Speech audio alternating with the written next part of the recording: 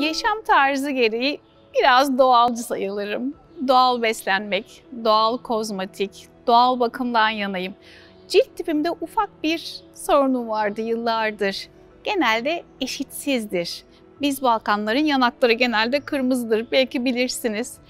Bundan kaynaklı atalarımdan, genlerimden gelen bir sorundu benim için. Cilt tonumu bir türlü eşitleyemiyordum. Doğal kozmetik üretmeye başlayınca doğal dünyanın içerisine yaklaşık 15-16 yıl önce girince buna da bir çözüm aramaya başladım. Böyle çok hoşuma giderdi. Bayanların yüzüne baktığımda porselen gibi olması, cilt tipinin aynı olması, kozmetik ürünleri kullanmadan nasıl bir doğal çözüm bulurum diye bir araştırma yaptım.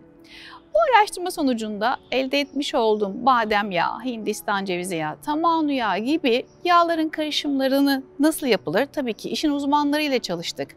ARGE çalışmaları yaptık. Cilt tiplerinde denemeler yaptık. En büyük denemeyi de kendi üzerimde yaptım. İçerisinde bulunan özlere baktığımızda kayısı çekirdeği yağı, üzüm çekirdeği yağı, Hindistan cevizi ve aspir bulunması ile birlikte E vitamini, limon otu, ıtır, havuç tohumu, rezine, günlük ve gül yağı ile beraber tamanu yağı mevcuttur. Akşam yatmadan önce özellikle gözünüzün altından tüm yüzünüze uygulamanızı tavsiye ederim.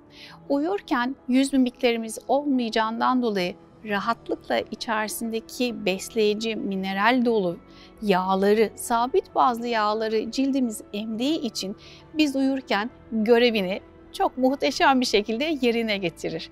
Sabah kalktığınızda da tüm cilt tipinizin eşitlendiğini görebilirsiniz. Elbette ki gün içerisinde kullanabilirsiniz. Bunda bir sakınca yok. Ama performansından faydalanmak istiyorsanız gece kullanmanızı tavsiye ederim.